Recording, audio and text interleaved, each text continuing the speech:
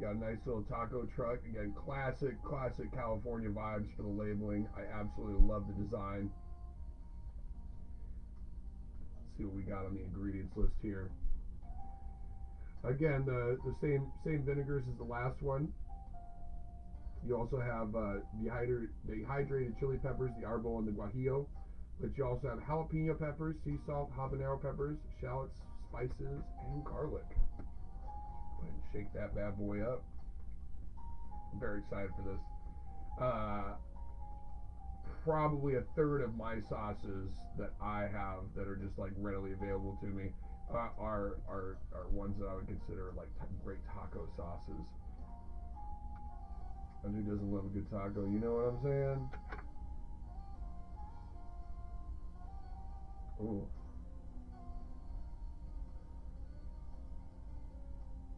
A little bit richer of a smell than the last one. So you get a nice. Hmm. Again, a strong, strong smell of that those dehydrated peppers, the arbol and the guajillo. Ooh, this one's a little thinner. Nothing wrong with that though, especially for taco sauce. You don't really want, when you're talking about a, a good taco sauce, you don't really want a chunkier sauce, in my opinion, because you you kind of already have great textures going on with with what you're eating in the taco.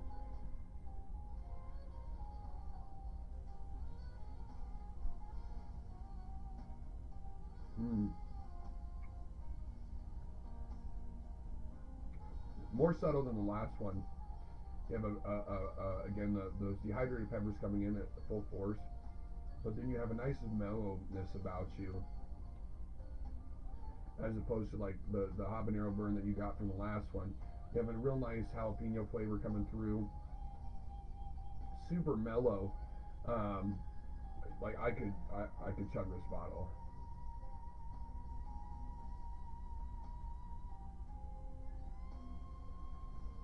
Mm.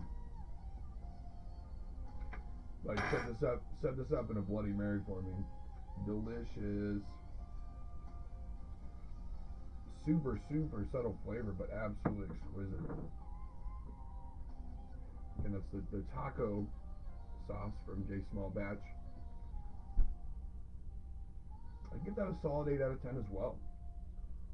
Um, yeah, Chili Dean, go check out this company again, uh, California Hot Sauce Solutions. If you're ever down in Southern California and you're looking to get some hot sauce, they, they not only carry their own, but they carry other people in the community sauce as well. Um, I have I haven't personally been to the storefront yet myself. Hopefully, uh, I'll make a trip out from, from Georgia to Cali at, at some point in time.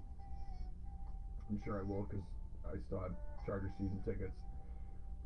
Um, no sugar, no preservatives in any of these sauces. Um, that's important to me. Uh, I I don't believe in shelf stabilizers, ghee powder, any any of that kind of stuff. Um, if you're making a good quality sauce, it's not going to be sticking around. You know what I'm saying? Like you're going to be finishing that bottle before sh- uh, shelf stabilizers and preservatives are necessary. And it also keeps the company honest as far as how often they're making their batches and how long something's sitting on a shelf before it gets to your table. So very, very important. Um, and like most hot sauces, gluten free for all those um, for all those people that have uh, dietary restrictions. Plus, very little calories for hot sauce, so you can you can pile that on.